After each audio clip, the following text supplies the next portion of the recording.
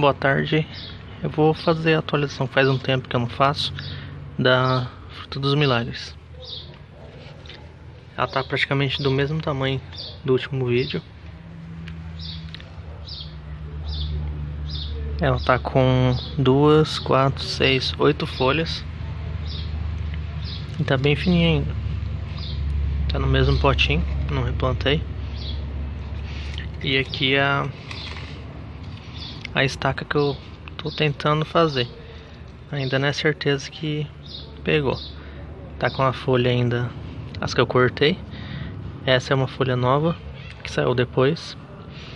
E tá parecendo que vai sair mais quatro folhas. Essa estaca eu fiz, para quem é novo no canal, de uma fruta do milagre adulta. Tentei fazer uma porquia, não enraizou, aí para não perder o galho, eu coloquei na, na terra. Tá com nove meses.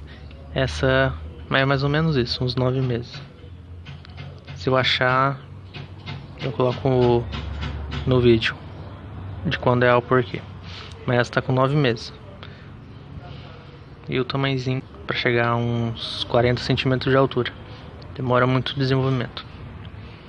Aí é a atualização da por semente e aqui estou fazendo teste ainda por galho.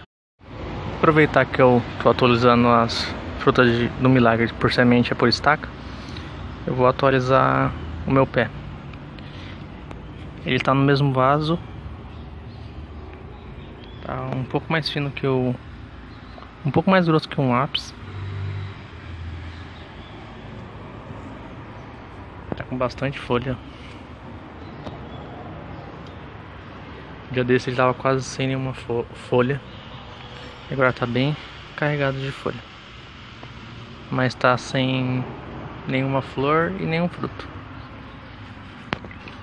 Tá com uma bifurcação aqui, ó. Ele tá com uns dois palmos, uns 50, 50 centímetros mais ou menos de altura.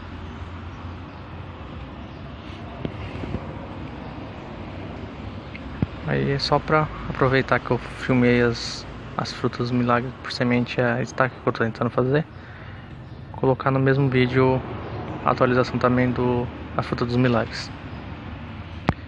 Fiquem com Deus e até o próximo vídeo.